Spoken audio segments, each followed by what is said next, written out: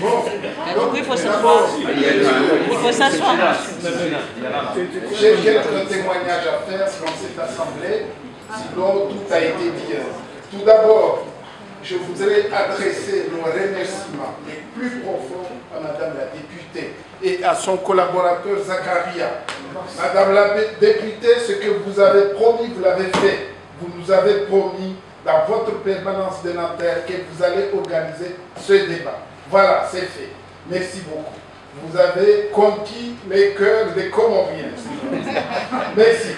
Cela dit, je voudrais juste faire quelques témoignages. Un, vous savez, Madame la députée, vous avez dit tout à l'heure que le Front National craint que si on enlève le visa Baladur, les Comoriens vont aller à Mayotte, ils ne vont pas revenir.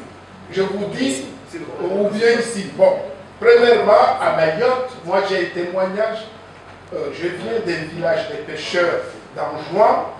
Avant le visa Baladur, les pêcheurs de mon village venaient à Mayotte, pour ne pas le citer, c'est le village de Bimbing. Ils venaient à Mayotte, ils pêchaient leurs poissons, ils le vendaient, ils repartaient à Anjouan.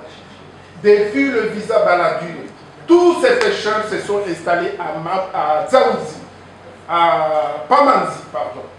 Ils, ont, ils sont là en situation irrégulière pendant 30, 40 ans, mais ils sont là pour vous dire que cette question de visa, les Comoriens n'ont pas envie d'aller à Mayotte. C'est vrai, Caïs l'a dit, ils vont pour des raisons économiques. Mais regardez, les pêcheurs, ils vont pas là-bas pour gagner, pour vendre le poisson. Il y a l'euro qui est mieux que le, franc CFA, ils, ils, vont vendre le poisson, ils ont de l'argent, ils repartent. Donc, ça c'est un, ça c'est quelque chose de concret, c'est pas de la théorie, c'est du vrai. Et je vous dis, il n'y a pas à craindre que les Anjouanais, les grands Comoriens, les moyens vont s'installer à Mayotte. Non, on n'a pas besoin de ça. Ce qu'ils veulent, il, faut des règles. Les gens y vont, ils visitent leur famille, ils reviennent. Et nous, on a des projets sur ça.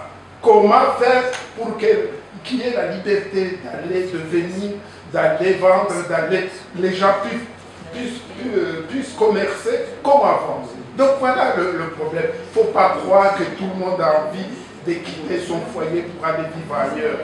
On a, il y a des gens qui ont leur maison, ils veulent rester dans leur maison, ils n'ont pas envie d'aller à Mayotte, rester dans des bagages. Ça c'est un. Deux, je vous confirme, mes chers amis, moi, je vais à Mayotte, j'ai des affaires à Mayotte. À Mayotte, les Français, les Wazungu, ils ne font pas la queue. C'est un système colonial qui est à Mayotte. Tous les vigiles de Mayotte, on leur a donné comme consigne, quand les Blancs, les, Français, les Wazungu, on dit, quand on est blanc, on dit Mzungu, il peut être Suisse, Français, Canadien, on dit Mzungu. Les Wazungu ne font pas la queue à Mayotte. C'est le système colonial pur et dur. Il vient, il y a une queue, tous les services administratifs de Mayotte, on voit la queue de, qui fait des, dizaines de mètres. Les Français, ils viennent, ils rentrent, ils font leurs affaires. Donc, ça, c'est quelque chose qu'il faut souligner. Et puis, pour finir, il y a le débat. Bien sûr, si Estelle Soufa et Massoka Mardin étaient là, ils allaient dire oui, le peuple maoré. Bon, supposons qu'il y a un peuple maoré, ce qui est faux, bien sûr, je rejoins tous ceux qui ont parlé, qui disent qu'il n'y a pas de peuple maoré. Supposons qu'il y a un peuple maoré, mais il y a un principe cardinal de droit international qui dit l'inviolabilité des frontières héritées de la colonisation. Ça, ça suffit. Ça suffit pour dire à la France, aux, différents gouvernements successifs de la France, qu'ils ont tort de balkaniser ce, territoire. Et je viens sur quelque chose que mon ami Naban a dit, le,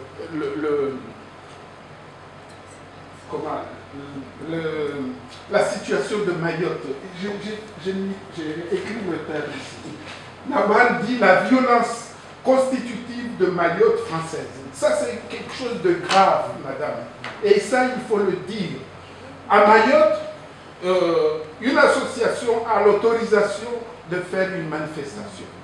Oui, l'autorisation administrative qui est donnée, les gens installent les, dans un machin, à la place publique, ils installent les chaises et tout, et des groupuscules soi-disant des groupes de citoyens, je ne sais pas quoi, ils viennent renverser les chaises, crier, arrêter tout, et les, gendarmes sont là, ils regardent.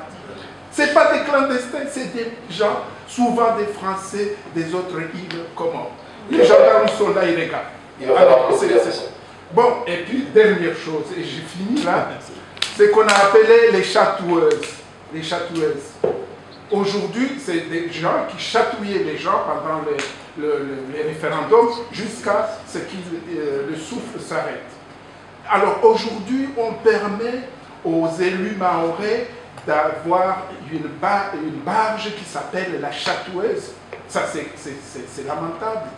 C'est pour faire référence à ces dames qui chatouillaient les gens jusqu'à euh, qu'ils meurent. Alors, ça, c'est aussi une violence constitutive de euh, Mayotte française. Donc, je voudrais, Madame la députée, que vous notiez ces idées-là pour que les gens sachent ce que c'est Mayotte. C'est pas pour rien que nos deux, euh, nos deux amis sont pas venus ici. Parce qu'ils craignent la, confrontation. C'est une confrontation pacifique. Nous, on n'a pas, on va pas. Mais il faut confronter les idées. Ils ne le feront jamais. Vous, vous trouvez des, des prétextes pour nous dire qu'ils ne sont pas là parce que... Mais moi, je savais, j'avais dit à mes amis qui viendront pas.